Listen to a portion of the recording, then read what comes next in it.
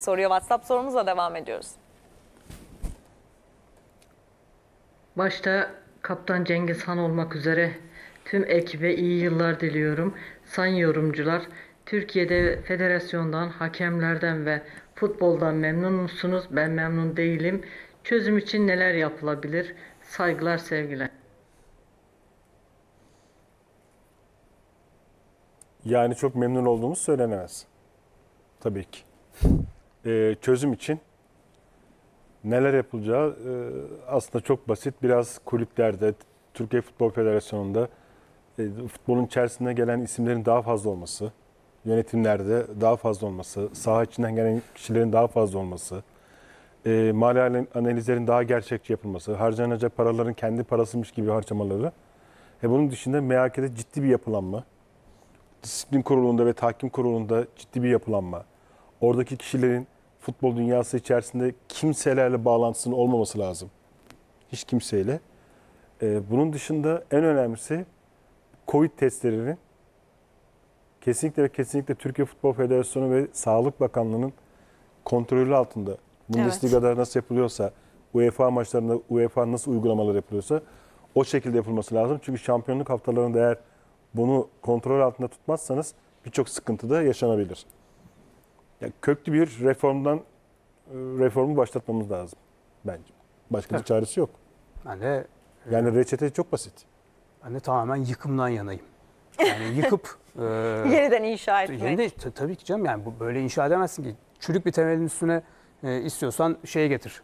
Yani ne bileyim Japonya'daki son teknolojiyi getir. Senin temelin çürük olduktan sonra Japonya'dan getirdiğin teknolojide de o depremde yine yıkılacaksın yani. Biz şu anda sallanıyoruz. Tamamen sallanıyoruz. Bak yani işte Atilla Türker ortaya çıkartıp Profesyonel Futbol Disiplin Kurulu ve Tahkim Kurulu'ndakilerin kimlerle nasıl bağlantıları olduğunu, hangi takımı tuttuğunu açıklıyorsa ortada ciddi bir sıkıntı var demektir. Orayı tamamen yıkmak lazım. 10 yıl boyunca orayı tamamen profesyonellere emanet etmek lazım. Tabii ki oraya giden insanlar bir kulübün taraftarı olacaklar. Tabii ki futbola ilgi duyacaklar. Bundan bahsetmiyoruz. Ama hiçbir ilişkisinin, organik bağının bulunmaması lazım. O insanlara 10 yıllık bir sözleşme imzalatılıp ayrılırsa da ciddi bir tazminat ödeme yükümlülüğü getirmek lazım ki 3 sene sonra oradan ayrılmasın. Hep bir kurumsal hafızadan bahsediyoruz. MHK için de kurumsal hafızadan bahsediyoruz. Şu anda sahip olduğumuz kurumsal hafıza berbat bir hafıza. Maalesef. Yani buralar adalet, adalet sağlayıcı yerler olduğu için orada Evet. çok hassas olması Çok hassas gerekiyor. olması lazım. Yani kulüpler, bak kusura bakma şunu söyleyeceğim. Kulüpler bu her federasyon seçimi olurken şunun pazarlığını yapıyorlar. PFDK'da benim şu adamım olsun, tahkimde Olmaz. bu adamım olsun. E sen böyle pazarlık yaparsan zaten hiçbir yere varamazsın ki. O pazarlığı kulüplere tamamen kapatmak Bu lazım. vesileyle şeyi de aydınlatmak gerekir. Türkiye Futbol Federasyonu başkanlık seçimlerinde e, oy kullanan insanların sayısı Her kulübün bir delegesinin olması lazım. yani o, o çok enteresan. Hatta o yelpazenin daha da genişlemesi lazım. Futbolun içerisinde olan insanların daha çok olması lazım diye Belgesi düşünüyorum. olan atıyorum UEFA Pro lisansı veyahut da UEFA A lisansı olan her teknik direktörün söz sahibi olması lazım. Orada oy kullanabilmesi lazım. Ama bu oyları hiçbir zaman toplanıp "E işte efendim bizim de bu kadar oyumuz var. Biz de bunu istiyoruz diye pazarlığa açmaması Aynen lazım. öyle. Bizde öyledir hemen. İşte kulüp seçimlerine git. Eski Sporcular Derneği'nin adamları gelirler. Bütün başkanlarla görüşürler. Bak biz sana oy vereceğiz ama bize şuradan bir sandalye, şuradan beş sandalye. Sanki kahvehane açıyorsun abi. Boş ver sen koltuğu. Kesinlikle. Sen o kulüp olduğun yani daha önce de profesyonel olduğun kulübün iyiliğini düşünsene. Ama bizde maalesef bu koltuk savaşları Game of Thrones gibi. Her an arkadan bıçağı da yersin yani. Maalesef. Saplayıverirler. Trabzon'a gidiyoruz şimdi. Gidelim. Fatih Bey'in bize bir sorusu var.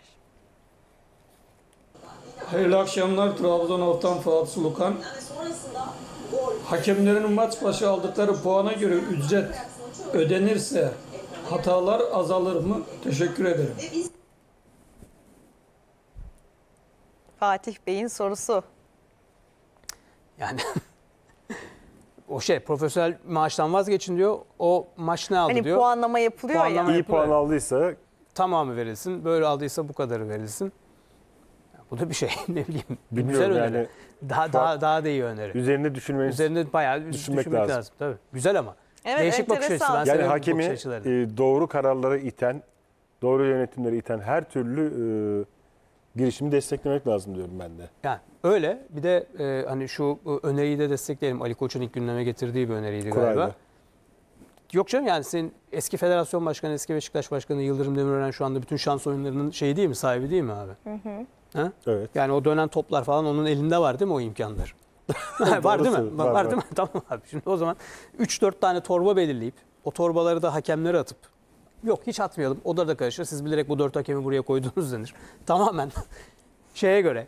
e, Kura ya. Kura topta dönsün abi. Şans topu gibi dönsün. Şans hakemi diyelim adına. Kim çıkarsa artık yöne Şey de çeker. önemli. bitti. e, temsilci de gözlemci gözlemciyi söylemişti herhalde. Gözlemci de iki tane olması lazım. Tek olmaması lazım. Onları da kurayla atar. Onları da kurayla Onları da atalım. kurayla Onlar atar. çok önemli Var bence. Abi, rica et eski TFF e, Türkiye Futbol Federasyonu Başkanı'ndan senin bu aletleri kullanacağız. Bir kira parası, kullanım hakkı falan isteme diye. Bütün spor televizyonları da canlı yayınlasın spor kanalları da. Evet abi işte atıyorum e, X maçın hakemi Y oldu, Y maçın hakemi Z oldu diye. Hep beraber hatta bak hatta aynı zamanda bütün o bahisin de başında var değil mi? Türkiye Futbol Federasyonu Başkanı eski Evet. Yıldırım Demirören. Tamam mı? Hatta bu maça hangi hakem çıkar diye aç oradan bahisi. Bak dalgana. ne diyeyim abi başka yani. Hani kurayla çekilmesi Biz lazım ama. burada düşünsek bir sürü çözüm buluyoruz da o çözüm Ya gerçekte. şu gerçek. Bence e, kura olması önemli. Cidden önemli. Evet.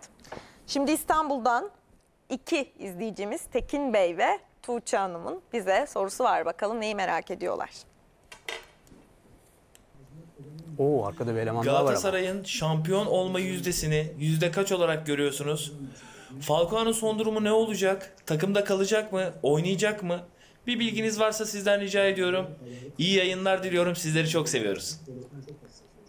Öncelikle arkadaki Çok 5 elemanı biz daha çok sev- sevdik. Evet. Muazzam bir şey o. Evet. Burayı biraz fazla mı almışlar tıraş olarak ama? Bir daha bakmak lazım. Çok tatlıydı Ee, gerçekten. Falcao'nun Galatasaray'da kalma ihtimali ya galiba yok gibi. Ama tabii ki bu Galatasaray'ın nasıl bir anlaşma yaptığı, Falcao'nun ikna olup olmadığıyla da e, alakalı. E, onu söyleyeyim çünkü onu çok seven bir eşi var. Yani adam iki buçuk ay sonra e, şeye girdi, kadroya girdi. Trabzon'dan Instagram fotoğrafı attı. Altına eşi hemen seni çok özledim gel falan diyor. Galatasaray taraftar diyor ki dur abi birazcık da biz görelim diyor. Daha yeni geldi diyor. çok güzel espriler vardı orada. Zaten yani kaç aydır evde. Kaç aydır evde yatıyor adam. Dur biz, bize bırak birazcık da demişler. Olmaz bu kadar da ya. Yani Kaç ben- ay beklediler. tabii tabii. Yani gitme ihtimali var tabii. Onun herhalde Miami'de Inter Miami deniliyor. Evet. deniliyor. Deniliyor, Biliyorsun göreceğiz. orada da Latinler çok. Çok evet. Ee, yani çok, çok da mantıksız değil. Öyle bir ayrılık söz konusu olabilir tabii ki. Ama o bu tamamen oyuncunun isteğine bağlı. Tabii. Bir de Galatasaray'ın şampiyonluk şansını sordu size. Bu e, bu sene hiç kimsenin şansı üzerine konuşabileceğimiz bir durum yok. Çünkü şu yani oyuna göre sadece oyuna göre konuşamıyoruz. Evet. Yani Covid, sıkışan maçlar, sürekli oynanan bir fikstür, kim ne kadar sakat verecek. İnşallah sakatlık bela olmaz, inşallah hastalık olmaz ama bir de hastalık var yani. E, Yani Karagümrük maçında yenilen bir Galatasaray var. Trabzon deplasmanında yenen bir Galatasaray var. O haftaları tutturmak çok kolay değil. Şansı tabii ki yüksek olan takımlardan biri. Şans bir iyi bir hoca Evet. var, tecrübeli bir hoca var. Galatasaray'ın bir oyun mı? planı var mı? Var. Öyle sorarsanız Galatasaray'ın çok sağlam bir oyun planı Oyun var. planı var. Bir ay önce falan ben demiştim Fatih Terim kendi oyun kitabını tekrar yazıyor diye. O yazmış olduğu kitapta tabii ki belirli eklemeler, güncellemelerle devam ediyor. Galatasaray'ın bir oyun planı var. Kusursuz bir oyun planı mı değil. Yine bakmayın Trabzonspor'un e, ciddi hücum varyasyanları da oldu. Evet. E, 70. dakikadan sonra ama esasında 1-0 olana kadar da hem e, Fegoli'nin sakatlandıktan sonraki 5 dakikalık sekansta hem 10 kişiken hem de Ömer Bayram oyuna girer girmez e, çok geride kabul ettiği bir zaman diliminde iki kere Envakame bölgesinden gelindi. Bir tanesi Ryan Donk'un engellediği şut var. Bir tanesinde Taylan Antalya'nın son anda eski Ankara güçlü Hayati Soydaş gibi son anda Hayati gibi son anda Taylan müdahalesi var. E, onu da e, ifade ederim. Var ama kusursuz bir oyun planı mı değil, geliştirilebilir bir, sürdürülebilir bir oyun planı mı? Kesinlikle. Şimdi madem öyle Arda'yı da konuşalım isterseniz. Arda'nın son maçlardaki performansı Galatasaraylıları çok mutlu ediyor ama